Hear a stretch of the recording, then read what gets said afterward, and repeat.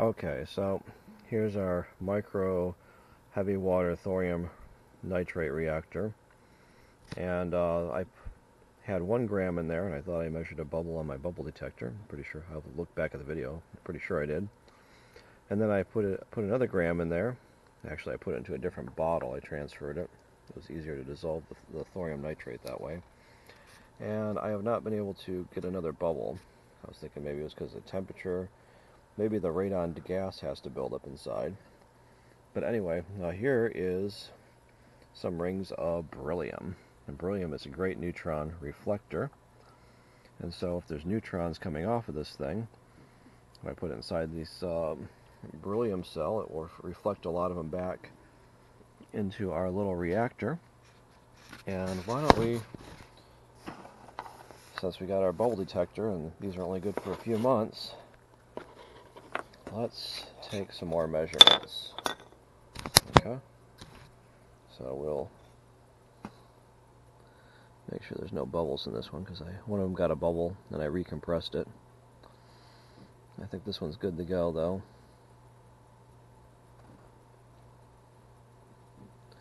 Okay, let me let me just look at it closer, make sure I can use this one. Okay, so I think it looks good and the directions say never grab onto the plastic thing when you're uncompressing it. So we'll grab onto the metal part and unscrew it here. Okay. And I just put this on the back so I don't lose it. And you know what I might want to do is we have our there. Let's see how we're going to do this. I'll just put the uh, thorium reactor right next to it. And so we will have our bubble detector and our uh, microthorium reactor in this in this uh, beryllium reflecting cell. And I'm starting this about what 9:30 at night, so I'll have to uh, check for bubbles tomorrow at about the same time and we'll see if the uh, beryllium reflector helps with this uh, nuclear reaction. Reflects some of the neutrons back in so we get more flux into uh, our bubble detector. Should be interesting. Okay. Okay, just checking out this morning. It looks like I can definitely see a bubble forming in there, and we're only about halfway through our time. Possibly a second bubble up higher. Very interesting.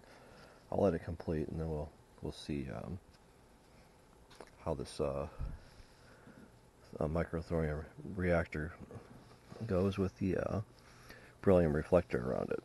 Okay. Okay, so we've been running our uh, microthorium uh, reactor with heavy water, two grams of th uh, thorium nitrate, and um, our beryllium reflector here, reflector rings, with our bubble detector, neutron bubble detector, and I think I see several different bubbles in here. So let's uh, let's just put this under the light, and we'll examine this a little bit better. There. So I see definitely a uh, very big one right there, and another big one there. It looks like there's another small bubble right there. And uh, let me look at it a little bit more.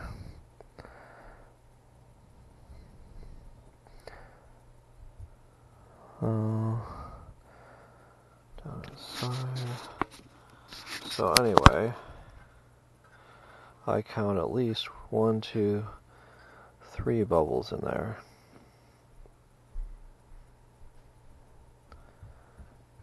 And look around and see if there's any more, but this is definitely way better with the reflector than without it. So two very large bubbles and another third bubble starting to form. So three bubbles here. One, two, three. Okay. I thought I might have saw another one, but I think it's just an imperfection in the plastic. So, putting the reflector here, around our uh, thorium reactor with beryllium reflector definitely uh, increases the output. And uh, it's about more than three times what we're getting without this because right after I changed the water it, it was not producing any bubbles. Okay so our microthorium reactor with beryllium reflectors very interesting huh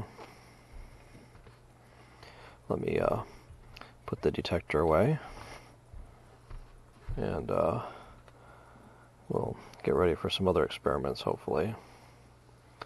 Okay, watch the bubbles disappear as I compress it.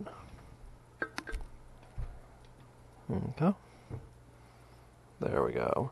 And I'll, I guess it takes a little while for them to completely go away. And they recommend always storing it in this container. It has a uh, O-ring seal on the end of it to keep it pressurized. Okay, and anyway, very interesting. This is Dr. Jaynes, and thanks for watching.